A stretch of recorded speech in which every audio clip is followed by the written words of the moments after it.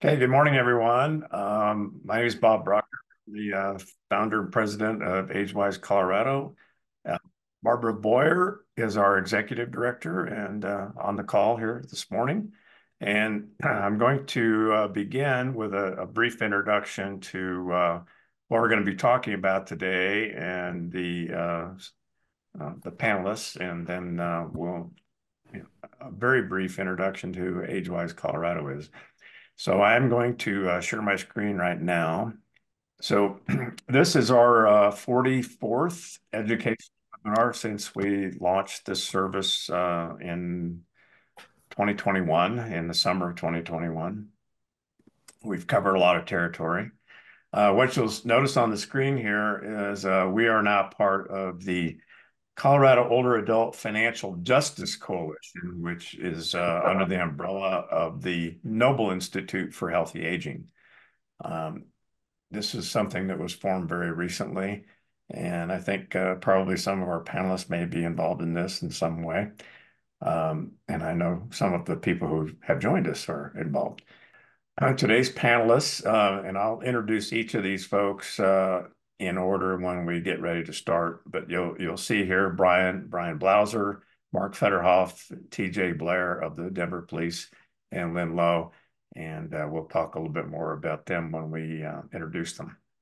So, who is AgeWise Colorado? Um, our our mission is a nonprofit is simply to connect for free all older Coloradans and their families. So usually that means adult children to reliable, helpful services, products, information, assistance, and education to help the uh, 3 million plus people over the age of 40 uh, on the aging journey here in Colorado and to uh, age well and age wisely.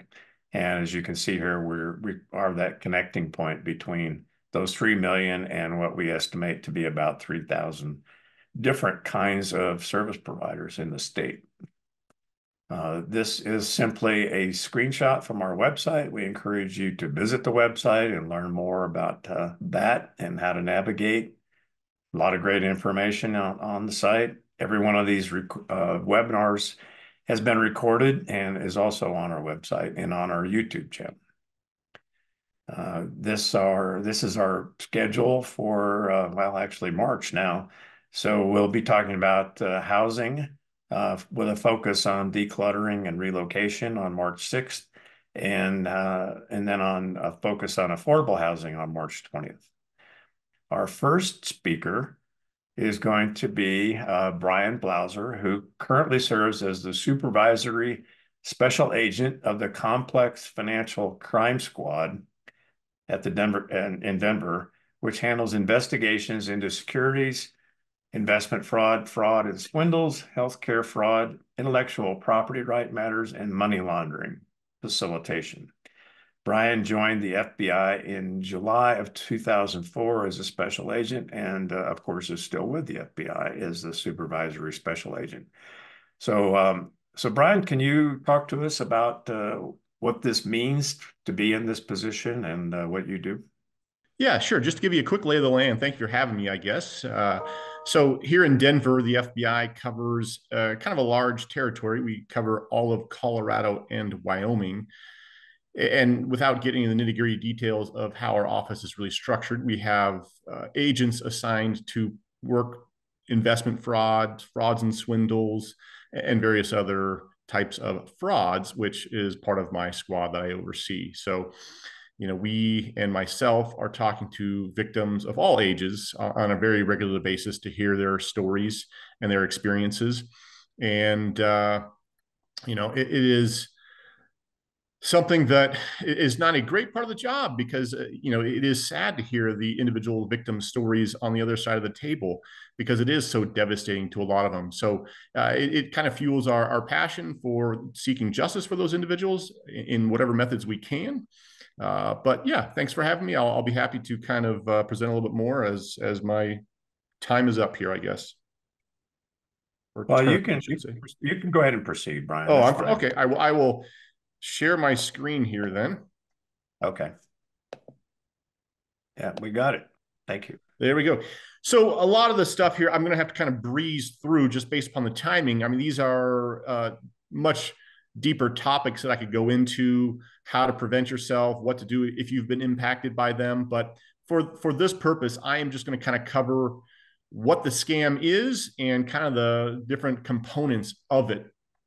But I, I really wanted to highlight, like I said in the opening there, how impactful these these are on victims of all ages, not just the elderly.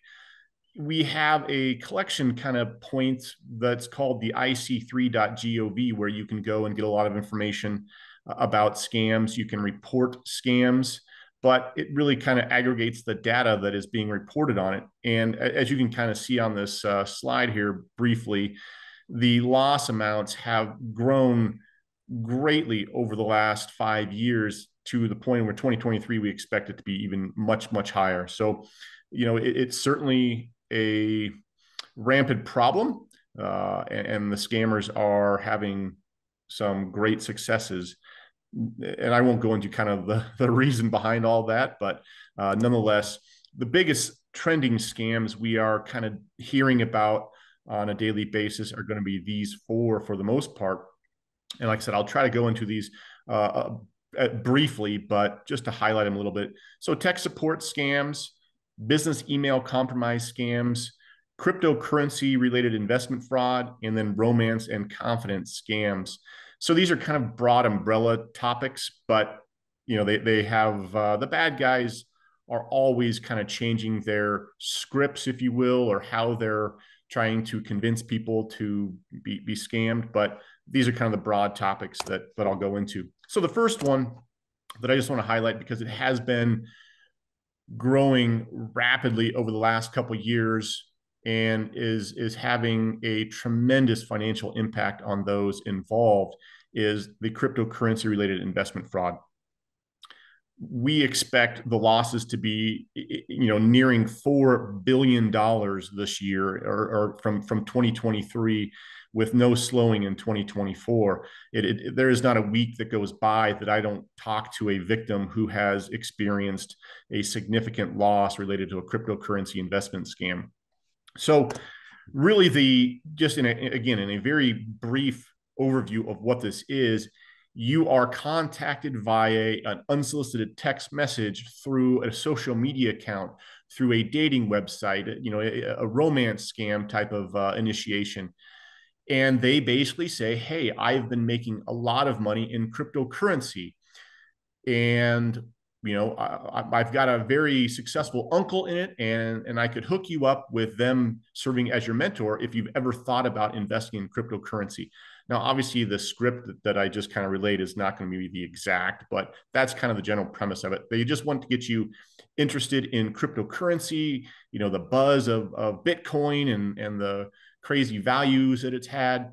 So they're trying to convince you that cryptocurrency is a latest and greatest way to make gobs of money, and they're going to help you navigate how to do such. Uh, so that's kind of the initial hook. If you seem interested, then they're going to kind of uh, initiate their scam, really. And they're going to direct you to, again, their family member or relative or financial advisor that's been so successful in these cryptocurrency markets. And you're going to be hooked up with that person and they're going to kind of initiate how you can go about investing in cryptocurrency, all the money you can make, how successful they've been. And they're going to get you kind of walk you through the process of how to do such they're they're usually going to have guaranteed guaranteed returns that are astronomical. Uh, but usually, a lot of the initial individuals that become victims start quite small, you know, a couple thousand dollars because it's something new to them. Maybe the person they're talking to on the other side of the chat conversation, they've never met in person. So they're probably a little leery as they should be but they go ahead and decide, you know what, this cryptocurrency thing is a hot topic right now. I just hear so much about it. So yeah, I'm gonna I'm gonna drop a couple thousand dollars into this and see what what happens. And so they do. And they were given a website to go to where they have a, an account and a login that they can access, similar to a bank account and they see their initial deposit of $2000 and then over the next couple days they can trade in nodes or whatever terminology the, the bad guys are using for that specific script but they are using terms that are associated with cryptocurrency but not the reality of how cryptocurrency works or cryptocurrency trading works. So, you know, again, it's just more just to confuse you because a lot of people don't have a strong understanding of cryptocurrency besides the term cryptocurrency, Bitcoin, whatever. Uh, and so that's what they're preying on that you don't, and you're going to kind of blindly follow this individual with their advice to you. So, long story short, they you you constantly are logging into your account. You're seeing how big the balance is growing, that initial small investment. So you want to invest more. So you do that. And obviously that balance grows astronomically as well. And you keep investing and investing and investing. You're going to ask families and friends to, to invest. You're going to maybe take out second mortgages to invest even more. So I, we, we've seen it all. And the balances that individuals invest is crazy. Uh, but at the end of the day, when you think that you want to pull out some money to test it, you usually are going to say, Oh, can I get a couple thousand dollars out? Because I want to see how legitimate it is. The bad guys are going to let you do that because all the money you put in is your money. So they're just going to allow you to take some of that back. Again, it's giving you the false sense of hope that, oh, this is a legitimate investment opportunity and I can easily withdraw money. So you plow more money into it. And really, you keep going until you try to withdraw uh, more money after that point, that initial investment that you may get back. And at that point, then the scammers really kind of kick in with, oh, you've got a luxury tax to pay. Oh, we've uh, money laundering has been alerted, or, or, the money laundering algorithm we utilize has flagged your account for money laundering, and we need you to pay some fees to get out in good standing. Whatever, again, terminology they want to utilize, basically to convince you to pay additional funds to be able to withdraw funds that you supposedly have earned. And they're just going to keep going and going and going with all of these uh, taxes, fees, or whatever to unfreeze your account until you realize you've been scammed because you will never get any of your funds back. It's all in cryptocurrency and it's been moved who knows where in seconds after you made your initial deposit. The bad guys control the website that you're able to log into and can control whatever balance they want to show that you've made. So, really, there is no returns, there is no profit. It is just a complete scam from the get go. And you're going to lose all of your funds in that one. So that is cryptocurrency investment uh, fraud.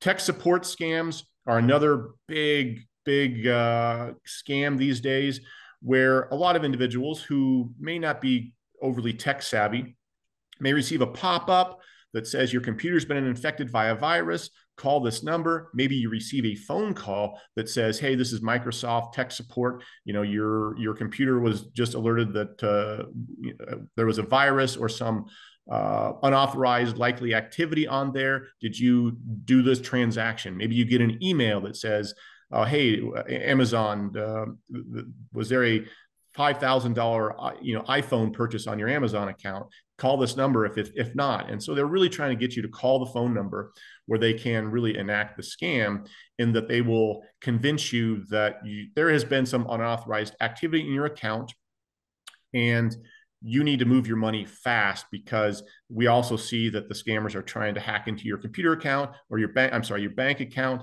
and they want to take your funds. So we need you to move your funds in essence. So they're going to transfer you to maybe somebody at a government agency that probably has nothing to do with moving funds but they don't know that because they they're not really familiar with uh, the, how our government agencies work.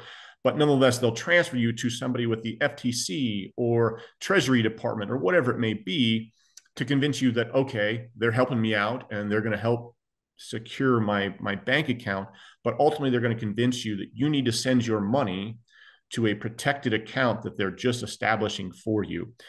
And we we kind of called it the phantom hacker scam.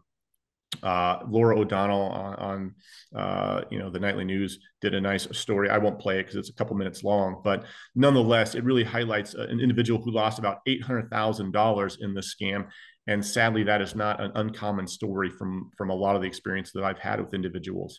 So again they're trying to convince you that somebody has hacked into your bank account.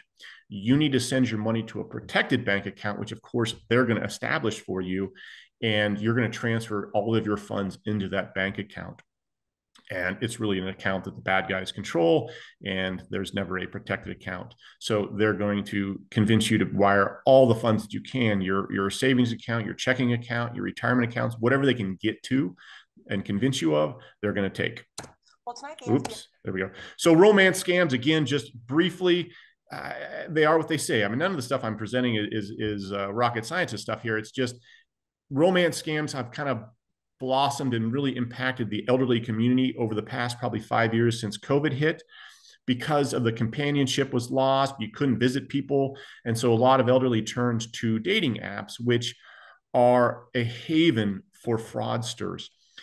And the romance scams usually start off quite innocent, and, and the bad guys aren't going to do anything abruptly. They're going to try to develop rapport. They're going to try to develop emotional buy ins. So they're going to talk sweet. They're going to say nice things. They're going to act like they're interested in your, you know, your background, your family, whatever it may be.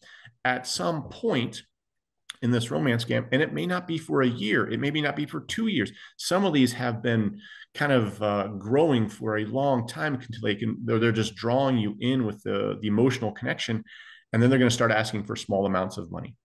They're going to say oh we're you know we're going to get married. I want to come visit you. I need money for you know the, the plane ticket or, or whatever small stuff they want to start and that just kind of you know snowball effect and they will keep asking for larger and larger amounts of money until you realize that you are being scammed. So that's just kind of the romance scam again the numbers are staggering uh, and these are, are very common. Sorry, just kind of blowing through this because I don't have a whole lot of time, and I just wanted to highlight a lot of the the, the main scams we are seeing right now. I think to it's suffice to say that really, if you are meeting somebody online, most of the time they're going to try to send your your messaging to like a WhatsApp or something outside of the dating website, and then they will kind of uh, start asking for the money and everything else. But really, if if you are talking with anybody online that you have never met in person and they start asking for money, I would say very high percentage that that is a scammer and they are going to continue asking for money no matter what stories they come up with no matter how in love with this person you are that person is a scam and they do not have any of the characteristics of the profile that you think you're talking with. So they're just doing it to take all of your money. All right so i think i've, I've used up a good uh, my, my 10 plus minutes here but be happy to take questions. I know bob had mentioned towards the end so i will just share the brief highlights there of some of the biggest scams we're seeing right now and turn it over to our other fantastic panelists that we have. Okay, thank, thanks so much, Brian. Um, I'd like to introduce now um, Mark Fetterhoff. Mark is the program manager for AARP Elder Watch and has worked on education and outreach to older adults for over 15 years. Mark currently works with a crew of dedicated volunteers to address thousands of inquiries each month about fraud, scams, and financial exploitation as a part of AARP's fraud helplines. So, Mark, tell us more about your world. Yeah, thanks so much for having me, Bob. I'm thrilled to be here, and I'm just trying to get my slides in place real quick. Um, but for those of you who are not familiar, uh, Elder Watch is a 20 plus year partnership with the Colorado Attorney General's office.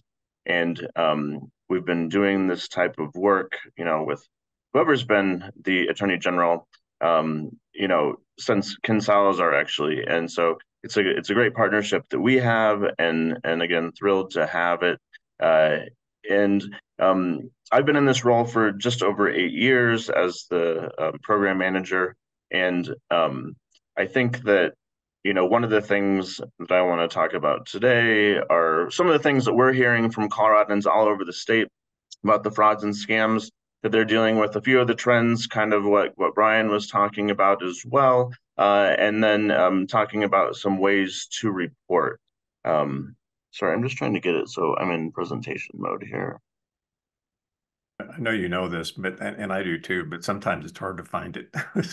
well, it's just the it's it's the screen at the top. Uh, it's the um, Zoom screen. i am just going to go with the slides, which is just fine. Can you see them? Okay. Yes. Yes, we can. Okay. Wonderful. Sorry.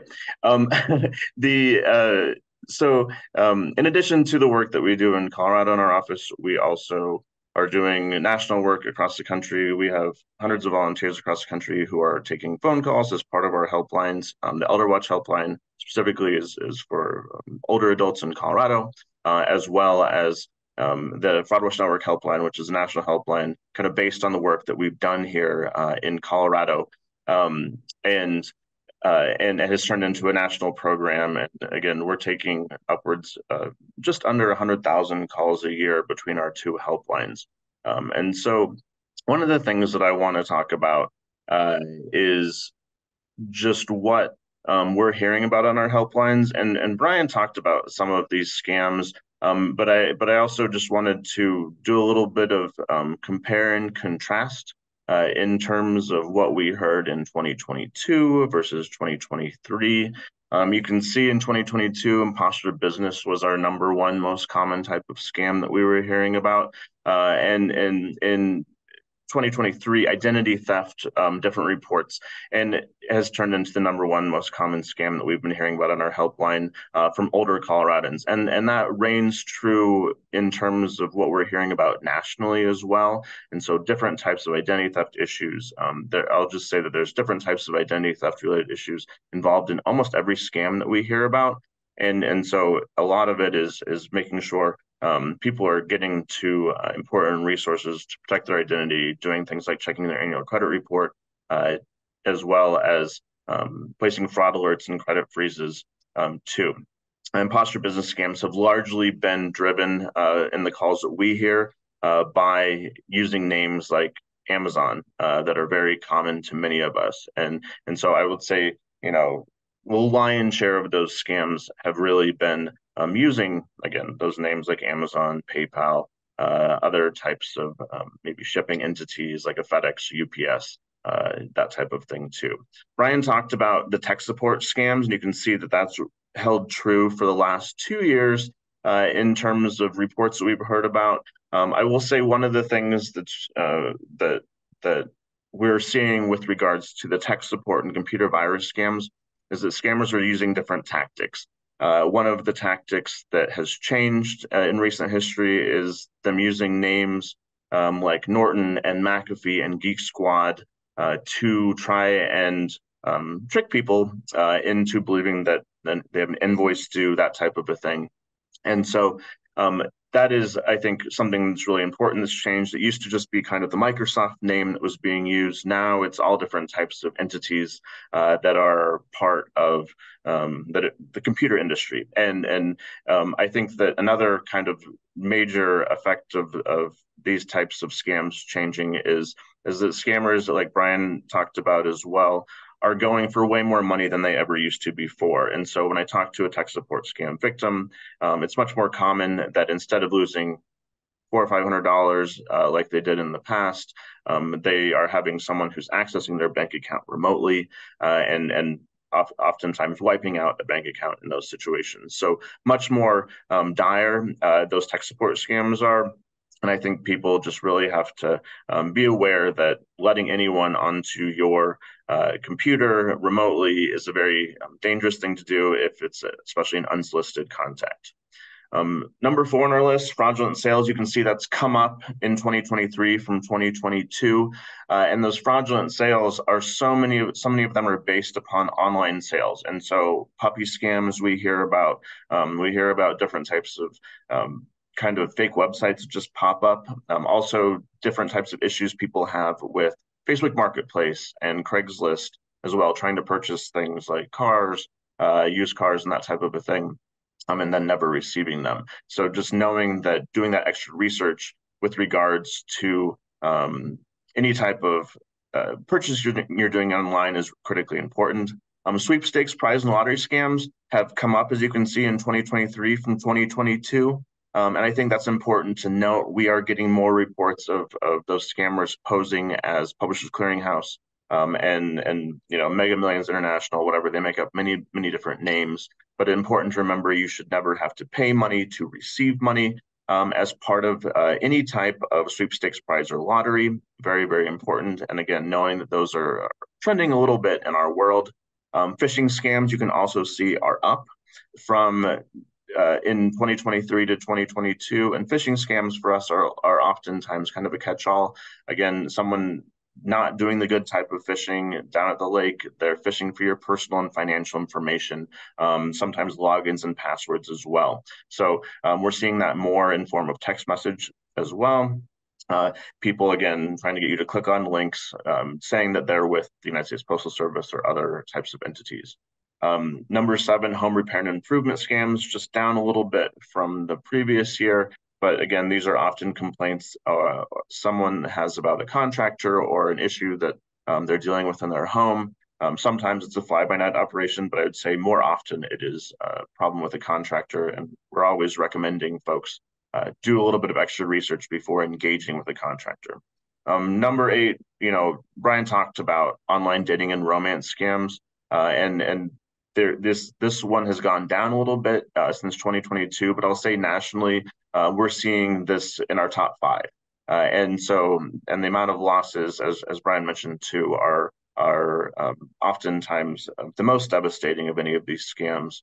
Um, so won't say any more about that. Auto sales and repairs, um, again, something that we're hearing more and more of. I, we're getting multiple calls um, a day right now about different types of problems with auto shops. And so again, doing that research very much like when you're hiring a contractor.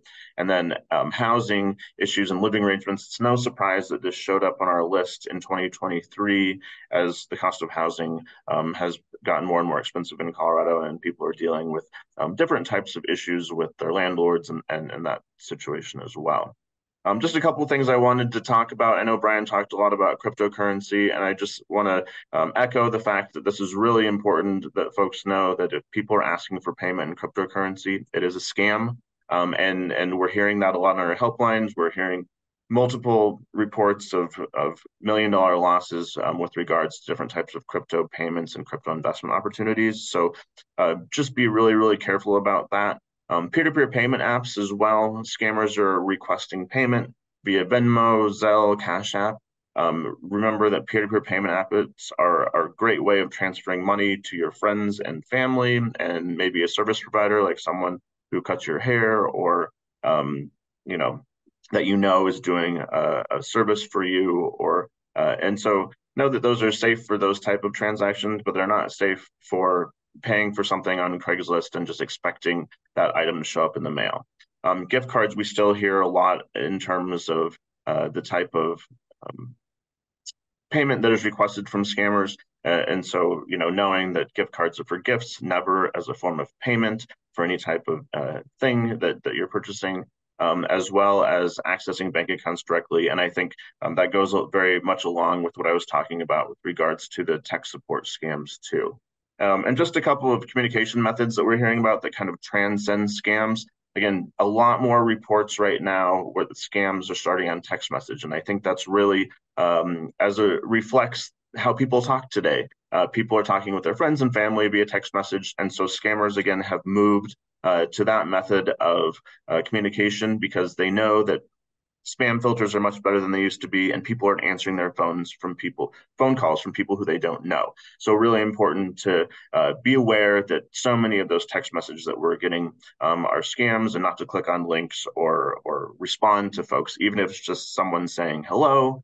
Um, those some those hellos are sometimes uh, the the start of a, a problem with regards to scams um, social media uh, scammers are you know really uh, honing in on social media as a way of getting a hold of people. Um, when Brian was talking about romance scams, it, it just continues to make me think that so many of the romance scams that we hear about don't necessarily just start on the match.com. So many of them start on Facebook or Instagram. Um, someone just kind of out of the blue saying hello.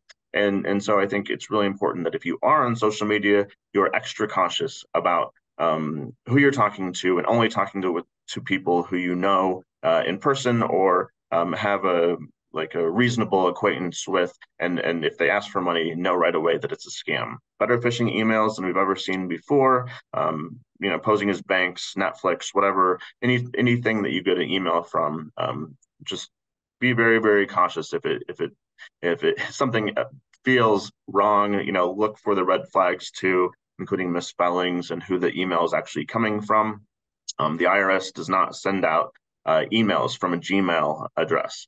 Um, also, you know, it's I think it's really important to remember that apps with any social component where people can talk to one another who are using that app um, are also a hotbed for scammers, and they, and they will be there. Um, lots of reports still of words with friends, um, even gambling apps where people can talk to one another, games where people can talk to one another.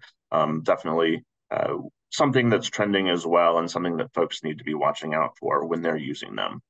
Um, here's some entities that we're most commonly telling people to report to. I know our next presenters are going to be talking about uh, reporting to local law enforcement. So I left them off this list for that reason. Um, but but Elder Watch, you can always give us a call. We have volunteers who are happy to chat with you about the different types of scam situations or that, that you're dealing with. Um, we're part of the Colorado Attorney General's Consumer Complaint Line. We're option two when you call that 1 800 222 4444. Um, and we're happy to take your report and also to uh, direct you to other resources uh, for any types of situations. Um, the Colorado Attorney General's website for reporting fraud um, is stopfraudcolorado.gov. And uh, again, they're in the process of revamp, revamping that website. And so I'm excited to see what they've come up with uh, in the coming months. Identitytheft.gov is probably the website that I am referring people to the most of, of any website when I'm talking to people on our helplines, um, because you can file identity theft reports on there, as well as get proactive steps and reactive steps to protect your identity um, at identitytheft.gov. And you can do that by, you know, you can do things like get information about checking your annual credit report, um, placing fraud alerts, credit freezes, all those things, as well as filing report uh, of a situation regarding your identity. Uh, Brian already mentioned ic3.gov. We're definitely constantly um, re referring people to ic3.gov to report different instances of fraud, um, particularly internet related fraud, but really any type of fraud too. It's a great resource and, and great numbers come out uh, from, from that resource. And then FTC, um, all of our information that we get on our helplines is reported directly to the Federal Trade Commission uh, as through their Federal Trade Commission, Commission's Consumer Sentinel.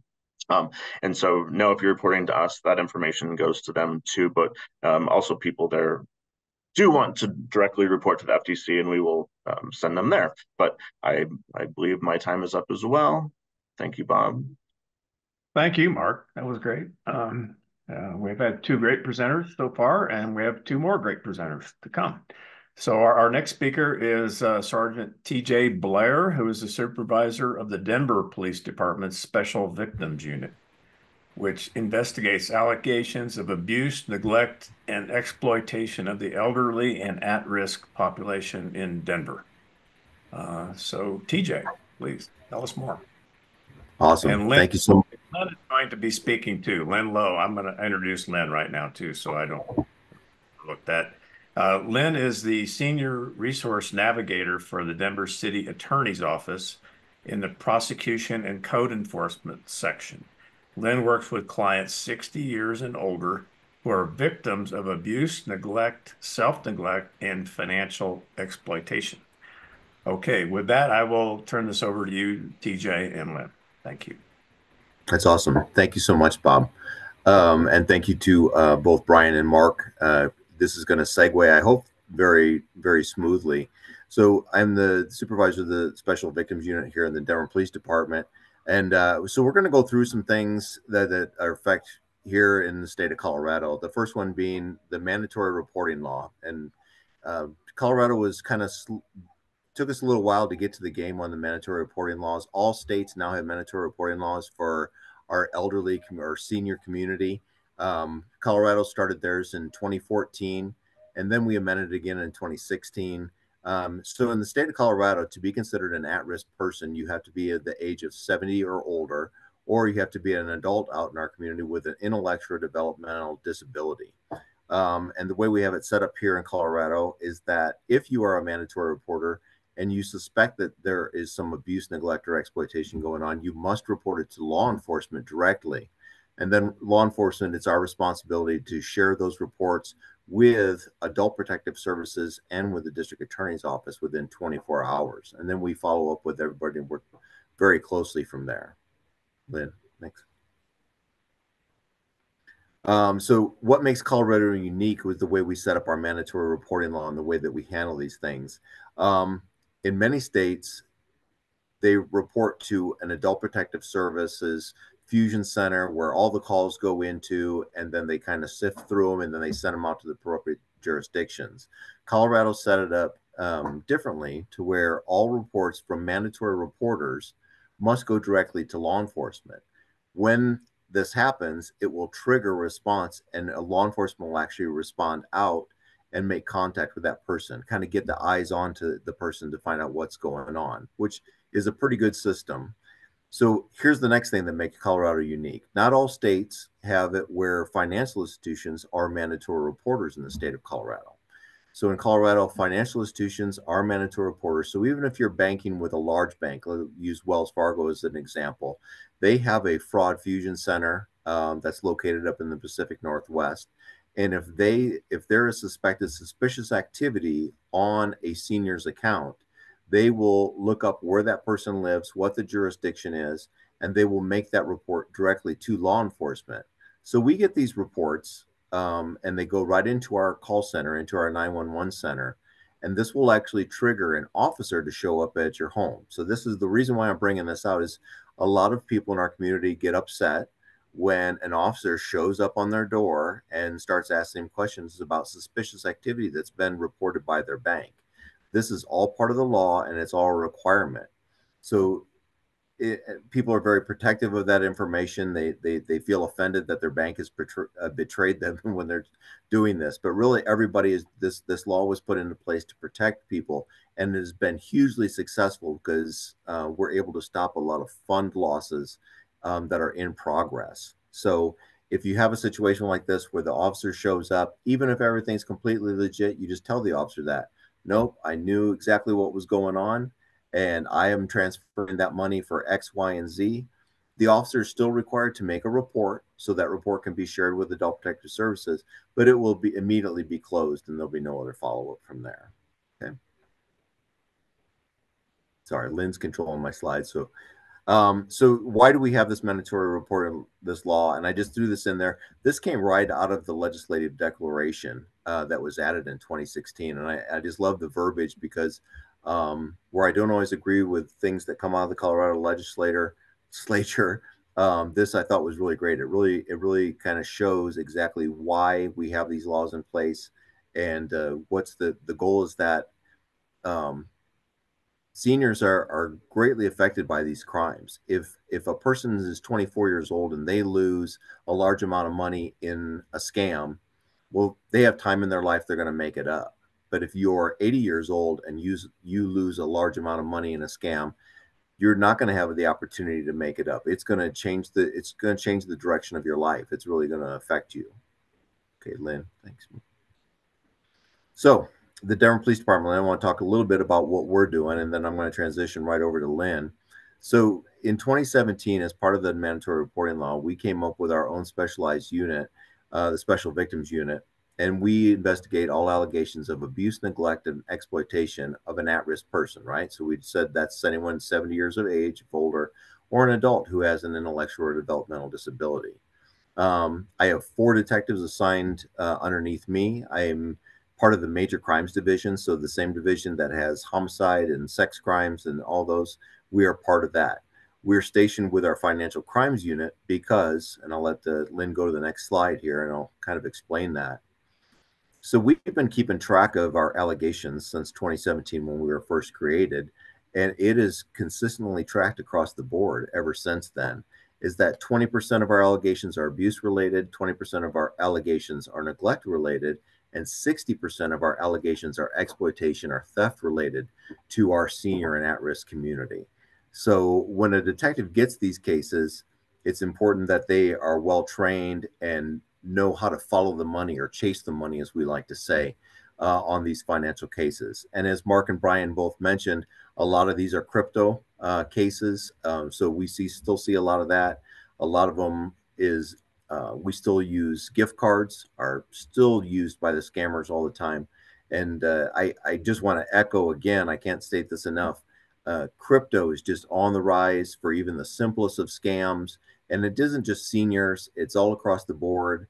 Um, and it's just become so commonplace where uh, when crypto really came out, in the state of Colorado, there was one crypto ATM, and it was state it was up in Boulder, and so we kind of knew where it was, and it was new and it was exciting. Now there are crypto ATMs uh, everywhere, including in our in the grocery stores. Um, a lot of the Coinstar machines that everyone is familiar with are actually now uh, crypto ATMs. So it's uh, it's become so commonplace, and that's why the scammers are using those uh, to go after them. All right, next slide, please. So I'm going to transition right over to Lynn here. So back in 2019, when since we've been doing this for a little while, we started seeing a trend where scam victims, we'd have a victim of a scam, we'd go out, we'd investigate, we'd follow up with them, and then maybe six months or a year later, that same name would pop up again. Well, the scammers are pretty are pretty smart, and they know well this person was uh, pretty pliable when we talk to them. And so we're going to change the this. We're going to flip the script. We're going to change the way we're approaching them and we're going to come after them again. And so we were just seeing what we call re-victimization. So in 2020, in the, in the midst of the COVID lockdown, we uh, tasked our senior resource navigator, who is Lynn, uh, is in the current position, and we tasked this person with basically we've got to do more follow up with our our senior scam victims.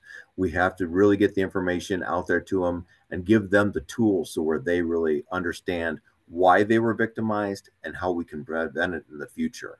So uh, to date, since then, um, almost all of our senior scam victims, a very small percentage, are not followed up on. Uh, the senior resource navigator uh, goes out and provides them educational material, provides them support, um, some some of our scam victims don't want to believe it's a scam. Uh, they are hooked into it uh, very deeply, and it's a it's a long process to try and get them to to stop sending money or stop communicating with the scammers. So with that, I'm going to switch and I'm going to go over and I'm going to let um, Lynn start talking, and she's going to talk a little bit more about the psychology and what it takes to help a person who's been the victim of a scam. Lynn. Okay, thanks, TJ. Hi, everybody. Can everybody hear me okay? Yes. Fantastic. Thank you. So, um, as Sergeant Blair said, um, we started looking at why people who are, you know, very cognitively sound, incredibly intelligent, were falling for these these scams uh, more than once. And I did some deep research and found that the scammers love to keep what it looks like a uh, Excel spreadsheet, which has all of our information out there. You know, we have to assume in this day and age that everybody's information is out there on the black market. And what they'll do is add notes to that. So every time you click on a link and answer a survey or respond to an email or answer the phone, they mark those numbers, those those uh, emails as legitimate, and then they they hone in on you. And again, they will come up with many different options in terms of trying to figure out what scam is going to work. Um, I think the reason that the scams went up in 2020 is more people were accessible, right? Scams are successful because everybody now has a cell phone, everybody's on the internet. We used to go and visit people, now we're connected through social media. So that accessibility is there. Um, and again, with COVID, everybody was home. That was our only social outlet at the time. Oftentimes, the stories that the scammers are providing, they're plausible. And they have the tools of the internet to show that they really are who they're saying they are, even though it's not real. It's a lie. Okay. The scams are sophisticated and they're always changing. They're always changing. So just when you learn about a scam, there's another one that comes through that you may not have heard about. At, at the same time, in our personal lives, especially as older adults, we might be dealing with a lot going on in our life. We may have lost a loved one, a significant other. We may have been recently diagnosed with an illness. There's a lot happening at that time. And scammers are excellent customer service representatives. They're better at customer service than our actual customer service representatives. They're kind, they're helpful. They are like used car salesmen. They are there to help you in whatever you need, and they'll build that trust and keep that relationship going. This is their full time job. A lot of times, what I get frustrated with is when I learn about scam, a scam, they often change it by the time we've learned how to deal with it. So what I started doing was teaching people how to recognize a scam no matter what scam it is. And what I like to encourage people to remember is those red, what I call red flags. Scammers are working on triggering that emotional center of our brain, whatever that is. If it's a joyful elation situation, and those are where our publishers clearinghouse scams, our romance scams, our lottery scams come from. Um, if you've been scammed before, you might get a call from somebody who claims to be from the FTC or an FBI agent saying they're going to help you get your money back when in fact that's that's not possible. Those are those feel good chemicals. You want to believe that those things are really happening. And unfortunately, we have to go back to trusting our gut. And when something doesn't feel right, it's usually not, right? So if something sounds too good to be true, then it is. They often will send out a phone call, a text message, or an email with a problem, something that causes us stress, something that makes us panic. It has to deal with our money or our computer's been hacked, something in regards to our personal information. When that happens, we've all heard of fight or flight, and we're dealing with a chemical dump that includes adrenaline and cortisol. And when that's happening, our critical thought process kind of goes to the wayside. So when you think about a time when you were overly emotional and you said or did something that you later regretted when you were thinking clearly, that's what happens to somebody who is being affected by a scam. We like to think, oh, I can't believe you would fall for that. I would never fall for that. When we hear about scams, right now our critical thought process is working. So it sounds like um, I could never fall for something like that. But when you're under duress, and you're not thinking clearly and you've got a lot of things going on and you might be tired, scammers are known to keep people on the phone for hours. You can fall into that situation of just wanting to fix that problem. And that's what they're counting on. And that's that's that first red flag. Any business, any government agency, any stranger has presented a problem to you, please stop communicating immediately and find that valid safe source. So if they're calling you claiming to be the IRS, hang up, call the IRS, find a valid safe number that you know is the official number. If it's Denver Police Department, same thing, as scary as that is, hang up, call the non-emergency line. That second red flag is a sense of urgency. They want they don't want that chemical dump to stop. They don't want that cortisol and adrenaline to stop flowing because they know you're not thinking clearly. Victims will report to me that they felt like they were uh, hypnotized they felt uh, brain fog. Um, they just were so exhausted and could not put two and two together, even though something didn't feel right. So, that second red flag is if you don't do it now, something worse will happen. And that's that urgency. They don't want you to stop with that adrenaline dump. And then the last red flag is coaching and isolation. Don't tell your husband, don't call your son, don't call the police. Uh, please don't call the bank. Somebody in the bank is a fraudster. Um, they're just trying to keep you isolated and they're also coaching you. They may stay on the phone with you and tell you exactly where to drive for those cryptocurrency banks. They may tell you what stores to get those um, gift cards from. And they'll have you lying to not only the cashier, but the bank teller, telling them that you're doing this for home repairs or uh, grandson's graduation. No legitimate business or government agency is going to ask you to lie. Anytime any of those three things happen, stop communicating. And it's really important. We have taken advantage of this, you know, the cell phones, the internet, all this, you know, um, cyber stuff that we want everything really fast. And when we're in a panic, we want to fix that problem immediately. What we need to do is slow down. We need to breathe and we need to say, what is that safe valid source? And um, I, I utilize Elder Watch all the time. I tell my clients, if you don't know if you're not sure, stop and start over, contact these resources, and they will help you decipher if what you're dealing with is a scam. The other thing is make sure that, again, this has been repeated, but I'm going to repeat it again. Do your research. If you make a phone call to Amazon customer service and something doesn't feel right, stop and start over. Double check those phone numbers. Contact a family member or friend to help you. If you get a link from somebody that you know and trust, contact them and say, Did you mean to send this to me? Don't take for granted that because you know that person or it's your neighbor, that that link came from them specifically. Their emails, their Facebooks could have been hacked, and that link is coming from somebody who's going to try to steal your money. Excuse me. Never call the numbers back on any email or text message. Please try not to take part in the free trial offers. I know that sounds exciting and helpful to the pocketbook, but um, oftentimes those are scams coming at you. Uh, right now, we're seeing a lot of people lose big amounts of money. Scammers used to start off really low and, and ask for $200, $600, $800. We're seeing people lose every penny that they have worked hard and saved for, and it's gone with no opportunity to gain it back.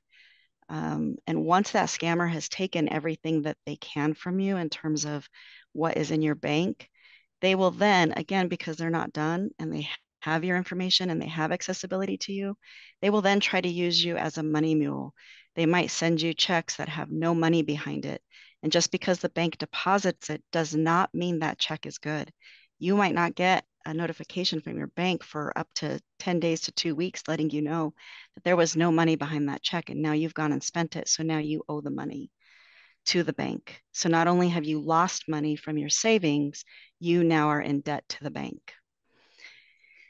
Um, again, going back to the internet in terms of the accessibility that they have in, in terms of tools, don't ask for verification. Don't call the number back and ask if they are who they are. They will prove to you who they are. They have the logos, they have the CEO's pictures on letters that they can send you, and it doesn't mean it's real. Please don't answer phone calls that are not in your contacts, even if it says IRS, even if it says Denver Police Department. Look up those numbers for yourself, okay?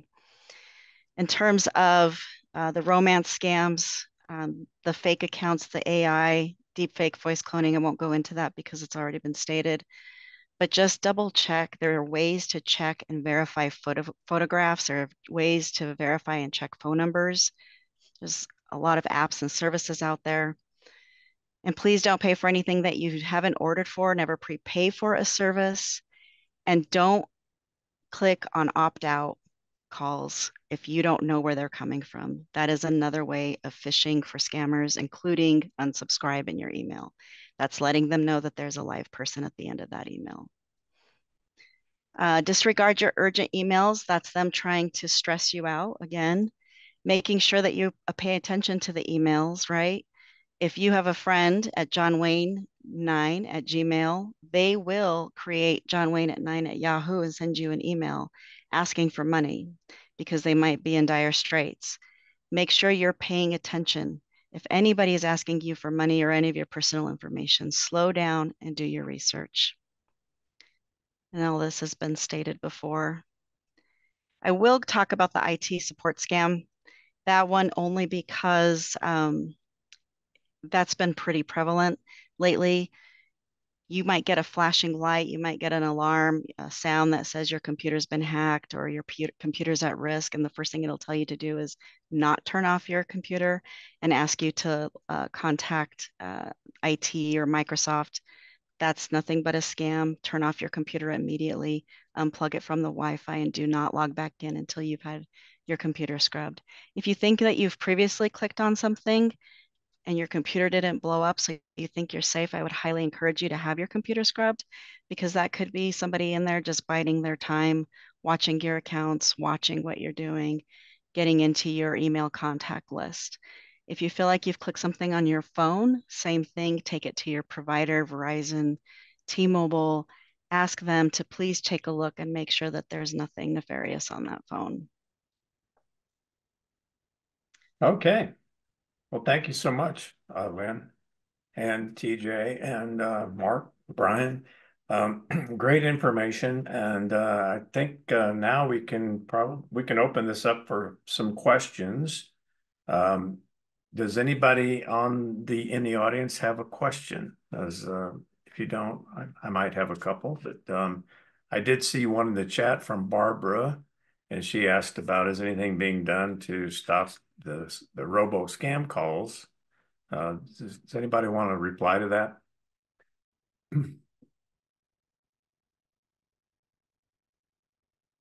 Mark, Brian, Lynn.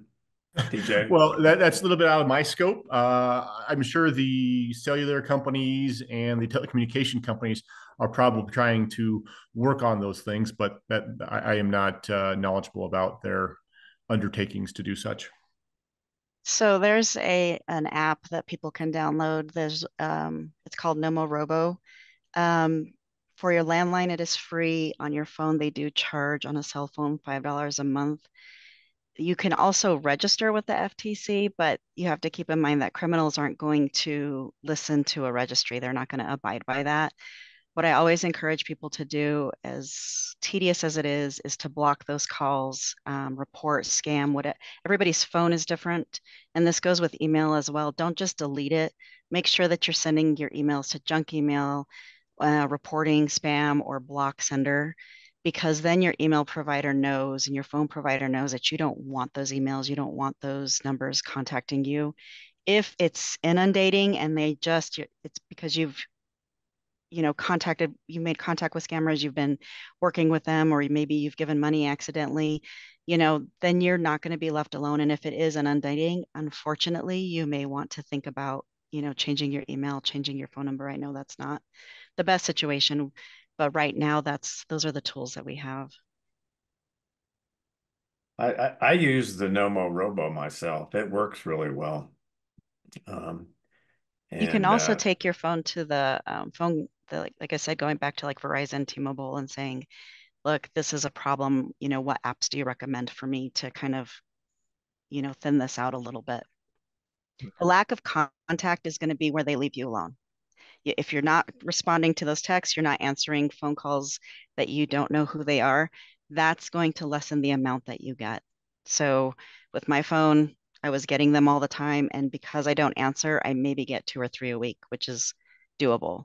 But if you are communicating and maybe you don't realize you're communicating with them, and if you are, they're going to keep coming and they're going to come in handfuls. I've heard some people say, well, I, I, you know, I'm smarter than they are. So I just keep them on the line. And, you know, so what do you say about that? I like to use a fishing analogy, even though fishing is a term that we use for scams. But um, think about when you go to the lake and you try to catch a fish and, and you get bored and you try different strategies and then you try different bait and you finally get a bite. Every time you click on a link, every time you answer that phone, every time you tell them, I know you're a scammer and you know, you mess with them, you're basically biting the hook. You're telling them, hey, I'm here and you just have to figure out what kind of bait I like. You know, I'm here, I have a bank account, I have a phone number, I'm accessible, and I'm willing to answer the phone every time you call. And I have had so many victims tell me, I knew better. I've avoided the, the latest 20 new scams, but this one just really had an impact on me for whatever reason. And that's all they're doing. They have all the time in the world. And if they know they can contact you, they will figure out what scam they can use against you. Thank you. So we have a question from Sylvie. Um, I'm sure all of you can read it. Um, do you do, would, would anyone like to reply to this? Um, I'll read it out loud. Seeking suggestions on what, if anything, could be done to protect a widow. She's mentally and emotionally sharp, 92 years old. Her husband died eight months ago. She receives a survivor pension that covers her income taxes, 7K a month assisted living residence fee, her health insurance premium, and about 1500 to cover extras has 300K in total assets from selling her home and moving to assisted living has a good son and a bad son. She has a state of Colorado statutory form POA name, um, naming sons as agent and co-agent, and giving each son uh, the right to act independently, either or. Bad son is openly wiring funds out of her bank account, and she's choosing to ignore. You know, this is pretty common actually. Um, family members are often the worst per perpetrators, and uh, I'm sure all of you would uh, would back that up. And uh, the good son is concerned, and so um, what to do? So suggestions.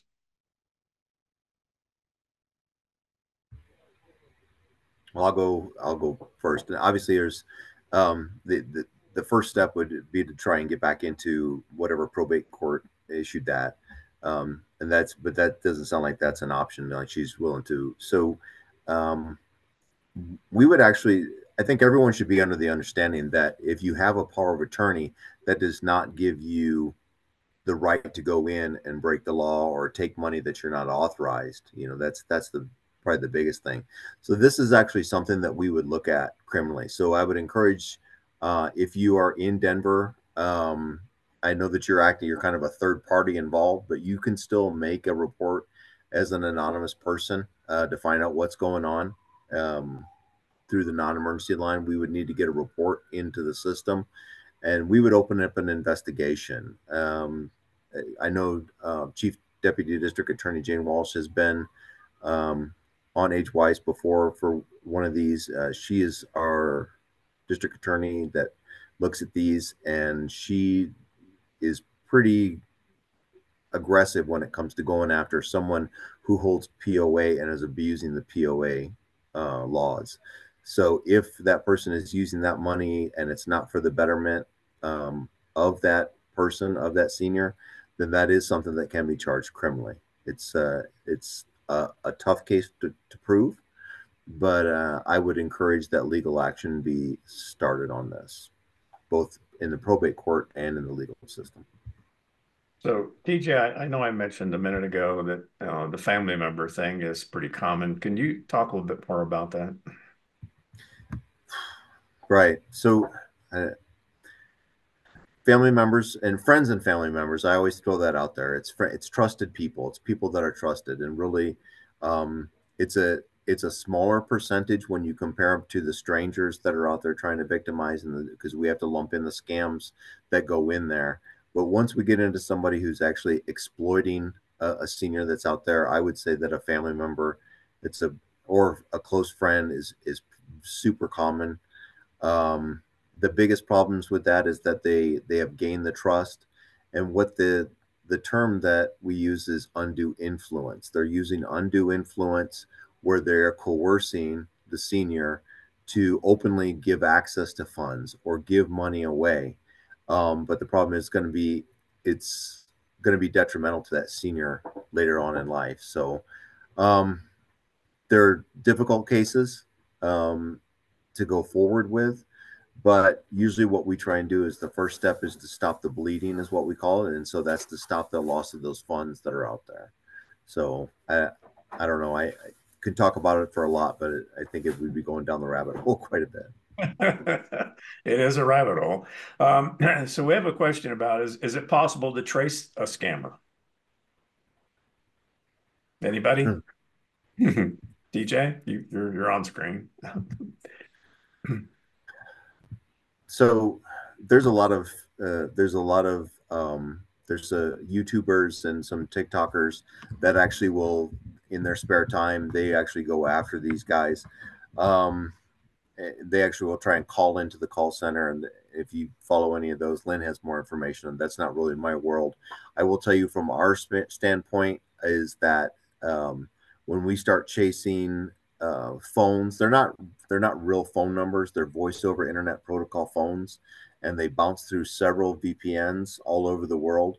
It's uh, it's a pretty long, hard chase. Um, I believe that our federal partners do a good job um, if they identify that there's a source from a call center in a country and there's multiple reports. That's why it's very important that every scam victim and every fraud victim that's out there also make that report with IC3.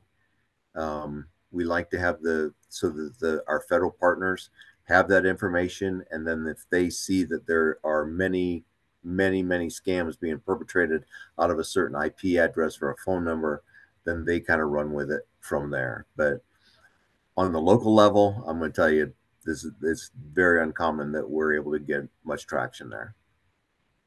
Well, I'll, I'll add a little bit to that. I have actually received scam calls from my own phone number. so, yeah, they'll spoof. They'll spoof legitimate numbers, right? Like if you if you go to your Play Store, if you look up spoof calls on any phone, any cell phone, there's a dozen apps that anybody, including myself, could download and fake a number. So it's it's incredibly challenging to trace anybody with the technology that's out there and the availability of the apps. Um, so that's why we have to really focus on protecting ourselves on a local level. Um, and we back to Sylvie's question for just a moment. We had a follow-up question asking if if the family member lives outside of Colorado, then if if it's the bad uh, son who happens to live is taking money and lives outside of Colorado, um, how should that be reported? if the victim is whatever jurisdiction the victim is in currently, that's that's where it needs to be reported, and then from law enforcement agency to law enforcement agency, we can transfer the case around if needed be. But yeah, don't overthink that. Just wherever that victim is, that's where the report needs to be generated. Okay, thank you. Uh, do we have any other questions? Uh, if you want to take yourself off mute and ask ask a question, you can you can do that too. Um, and if you can't take yourself off mute, let me know and I'll I'll do it. so. Uh, Okay. The um, I also wanted to mention that you know we received an email just recently, uh, like two days ago, uh, from somebody saying representing someone who's sort of famous, saying that this person would like to make a donation, and it was a it was actually addressed to several nonprofits, and saying all you have to do is provide your uh, bank account information and your um, EIN number, and we'll, we'll we'll make a donation. So it's like never heard of this person before ever, and it just came came out of the blue, and um, so we didn't respond, of course. But anyway, it's it's happening with nonprofits now. I, that's the first one I've ever seen. so it probably won't be the last. Um, and can I ask a question about that? Sure. Is Sure. that something that we should report? Well, I sent it to- So that there is an email. Yeah, I, I sent it to Mark and Brian. Oh, did it? Okay.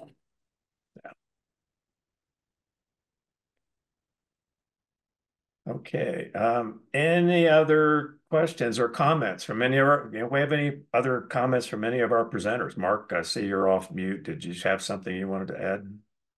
Oh no, I mean, I, I think that I, I just was going to comment on the on the reporting aspect, and I think, you know, I think it is important to report these different types of instances, especially, you know, Bob, like that instance, you know, obviously is one that's going to target you and and other folks who work in the nonprofit world.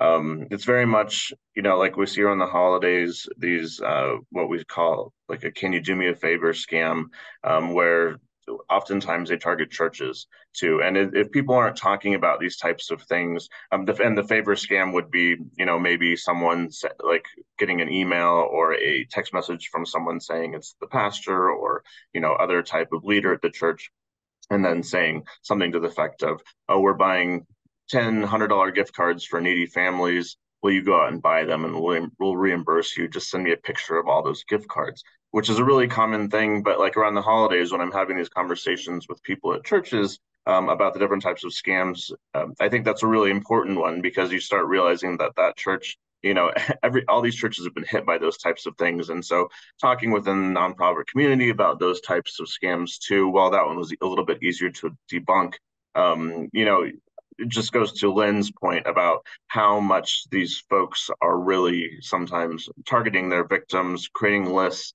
uh, and and maybe digging deeper to do more of this type of spear phishing attempt uh, that we hear about that are oftentimes probably more successful than just the um, calling out to thousands and thousands of people hoping uh, that that someone responds. And so again, I mean, as scammers get more sophisticated and looking for different techniques to target different populations. We just got to keep sharing that information so we can so we can make sure everyone knows about it. And to piggyback off that, again, just if somebody's asking you for money, whether it's for a charity or information about yourself, if you just would please go to that source. So if your pastor emails you asking you for this gift card, all it takes is a quick phone call. Did you send this out? Want to make sure this is you and you will prevent from you know purchasing that gift card out of good faith in your heart the last thing i would like to say is please be kind please be kind to somebody who does share that they've been scammed it is incredibly traumatizing it's invasive it's very scary um, to think that somebody was able to do that to you. And it's not any different than any other crime victim. And it takes a lot of courage because people feel ashamed, they're embarrassed, they feel dumb. And none of that is true. But for them to have the courage to be able to tell somebody and to get the word out, most times they're trying to tell you so that you won't fall for it. So don't be harsh, don't be judgmental. And if you know somebody who's in a romance scam or possibly in a romance scam, again, be gentle. That relationship is real to them. And so you're not only telling them that they've lost their money, but you're telling them that this person that they cared about for the last year, maybe even three years, is not real.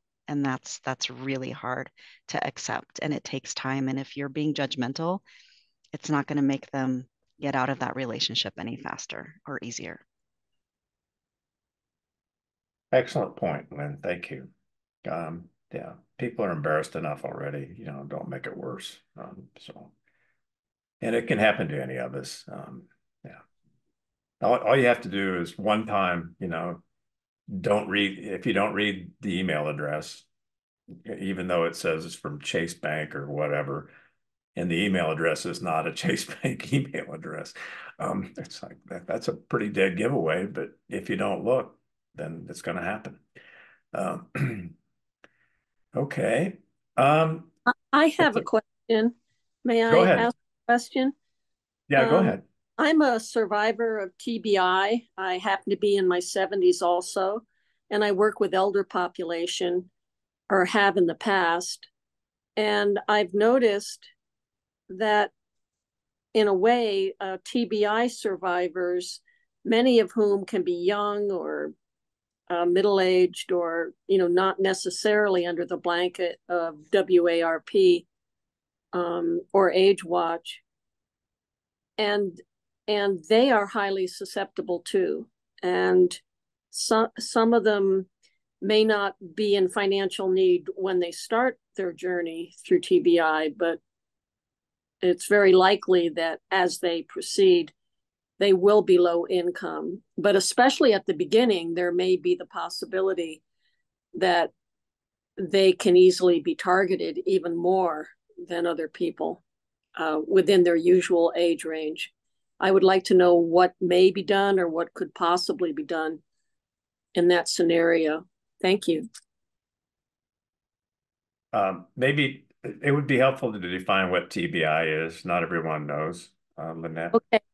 Traumatic brain injury, both acquired or, you know, in my situation, it's an acquired uh, from concussion or spinal cord injury uh, Okay. as well.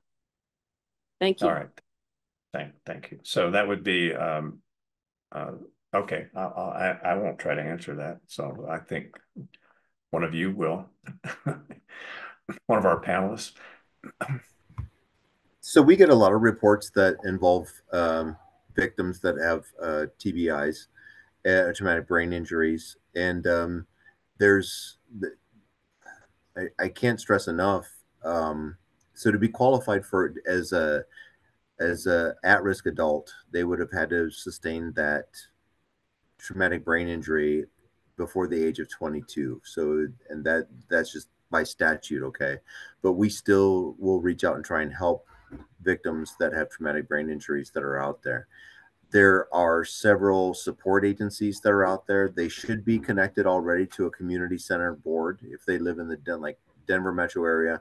Our community center board is Rocky Mountain Human Services, and they have a brain injury um, waiver that they can be under to get them supports that they need.